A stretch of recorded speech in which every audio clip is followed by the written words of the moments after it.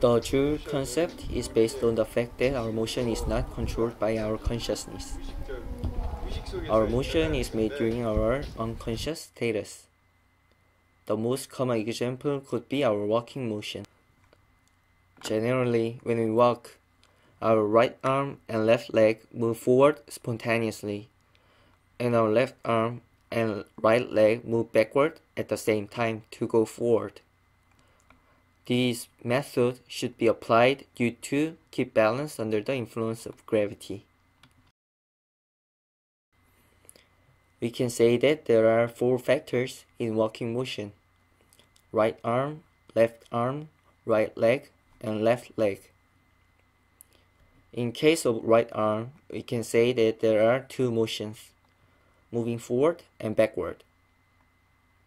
Left arm can be seen same as right arm moving forward and backward.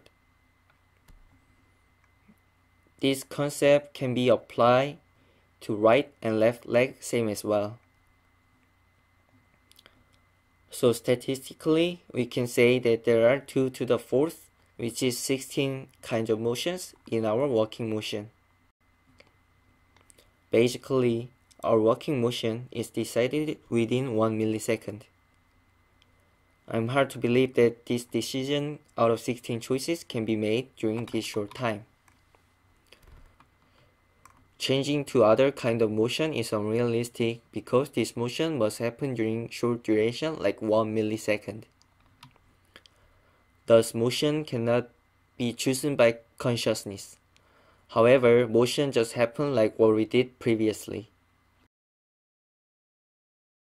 When we see our walking motion from large scale, there are 16 kinds of motion in walking.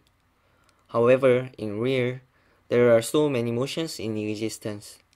Let's look at our leg. There are toe, foot, ankle, shin, and thigh in our leg.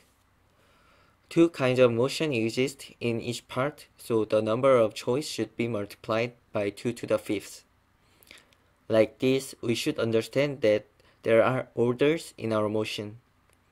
As the number of parts related to our motion increase, the number of our motion order increase uncountably. Therefore, human motion cannot be controlled by consciousness. There are too many numbers of choice in human motion to control. Especially motion happens during short second. It would not be possible to choose one in that moment. In other words, the motion with consciousness must happen with appropriate order of motion of each body parts. However, appropriate order is hard to be made by human consciousness within short second. So the motion appears like what we did usually. Or we can say that we are born with our motion. This is reality. It is impossible to change our motion. However, there is one way to modify our motion, which is Jul concept. The basis of Jul concept is that we understand that there are numbers of choice in human motion, and then we remove variables. As we remove variables in human motion, motion can be simplified. So simplified motion can be controlled by consciousness. This is cornerstone of Jul concept. At this kind of posture, there is little variable. If we move like this, motion is always constant. Motion is instant. We should remember this fact.